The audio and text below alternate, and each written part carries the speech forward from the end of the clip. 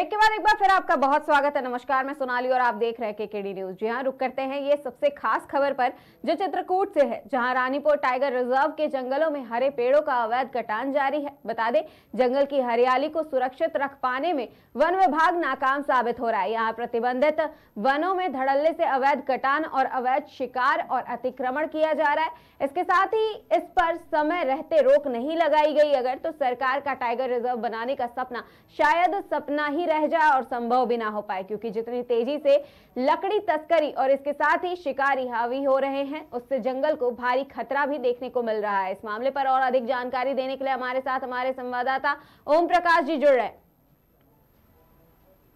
ओम प्रकाश जी हमारा सबसे पहला सवाल यही है कि ये पूरा मामला क्या है और कब से चल रहा है?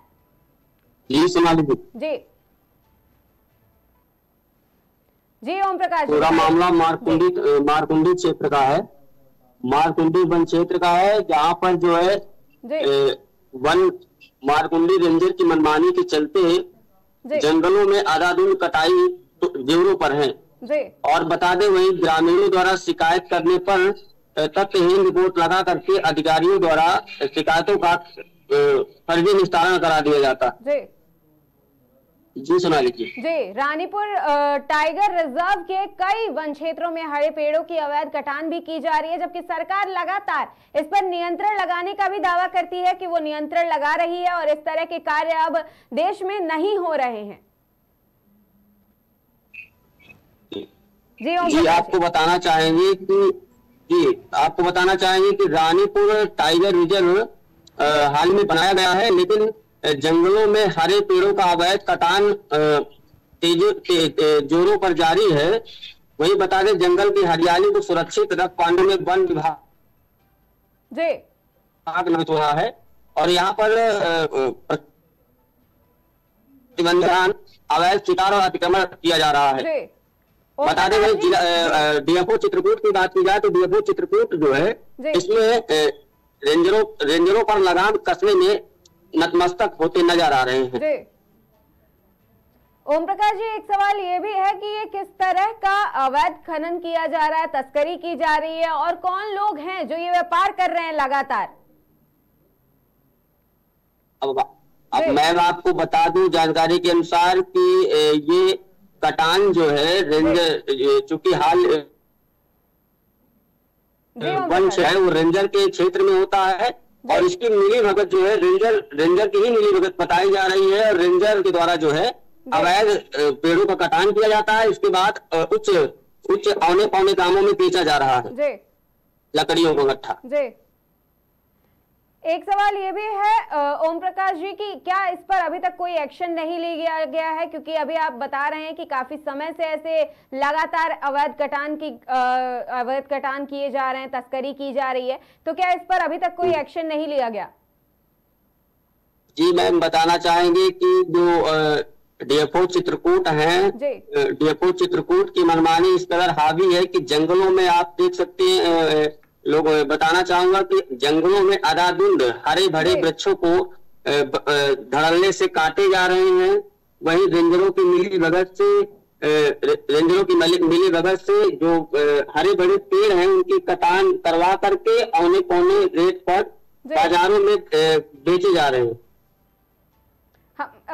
ओम प्रकाश जी एक्शन की बात कर रहे हैं। वन विभाग के अधिकारियों ने इस पर कोई कार्रवाई नहीं एक्शन की बात बता दें मैम कि अभी अभी तक अभी तक एक्ट- हेलो जी जी जी एक्शन की बात की एक्शन की एक्शन की बात की जाए मैम तो चित्रकूट डीएफओ चित्रकूट डीएफओ चित्रकूट द्वारा अभी तक इस। प्रकरण पर कोई एक्शन नहीं लिया गया है। और लगातार खबरें प्रकाशित हुई तीन चार दिनों से लगातार खबरें प्रकाशित हो रही है।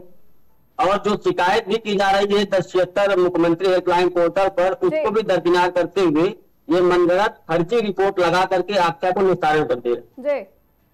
तो इससे पहले कितनी बार अ, मतलब शिकायत की जा चुकी है? मुख्यमंत्री पोर्टल पर भी अ, शिकायत कितनी बार की जा चुकी है? शिकायत तो कई बार ग्रामीणों ने बताया कि हम लोगों ने कई बार शिकायत कर चुका। और डेपो चित्रकूट है वो जो उनके कर्मचारी अधिकारी बैठते हैं उनके द्वारा जो है तथा तथ्यहीन रिपोर्ट लगा करके फर्जी रिपोर्ट लगा करके मामले को विस्तार कर दिया जाता। है तो जो लोग अतिक्रमण कर रहे हैं जो लोग ये तस्करी का काम कर रहे हैं वो इतने पावरफुल हैं। ओम प्रकाश जी इसका मतलब कि वन विभाग के अधिकारी भी उन पर कोई एक्शन नहीं ले रहे हैं। ना ही सीएम पोर्टल पर शिकायत करने पर कोई एक्शन लिया जा रहा है। मैं बताना चाहूँगा कि एक्शन एक्शन हो तो हो कहाँ से? जब इसमें अधिकारी ही संलिप्त है जी। इसमें वन माफियाओं जो जो जो रेंजर होता है जो डीएफओ चित्रकूट को कमान दी जाती है ठीक है ज़िले की।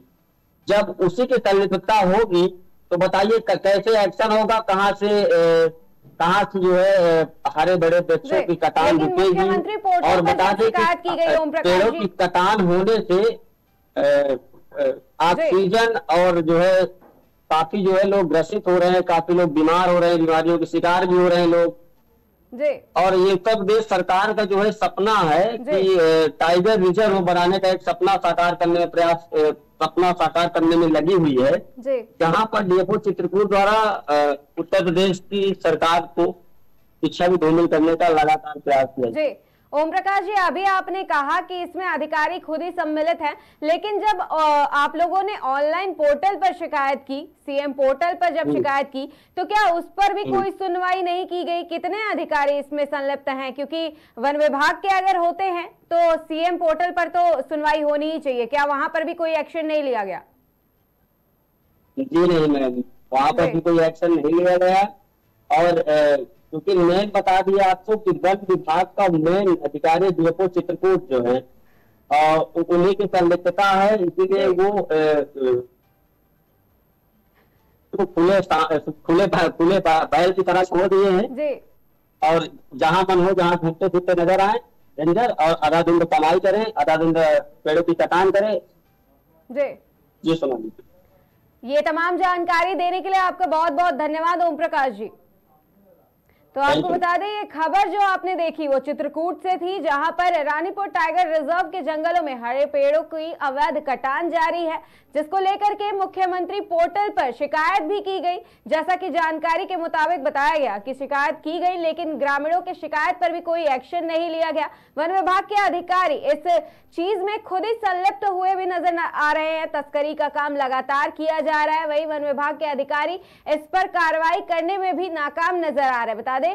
प्रतिबंधित वनों में धड़ल्ले से अवैध कटान की जा रही है, अवैध शिकार किए जा रहे हैं। इसके साथ ही अतिक्रमण का भी काम किया जा रहा है। अब इस पर समय रहते अगर रोक नहीं लगाई जाती है तो सरकार का एक सपना, जो कि टाइगर रिज़र्व बनाने का सपना है, शायद वो संभव ना हो पाए, लेकिन इसके साथ ही ग्रामीणों को भी कई सारी समस्याओं का सामना करना पड़ रहा है। पेड़ कटान की वजह से, तस्करी की वजह से मुख्यमंत्री पोर्टल पर कई बार शिकायत की जा चुकी है। इसके साथ ही अब देखना यह है कि कब तक इस खबर पर एक्शन लिया जाता है। फ़िलहाल के लिए नमस्कार देखते रहिए के न्यूज़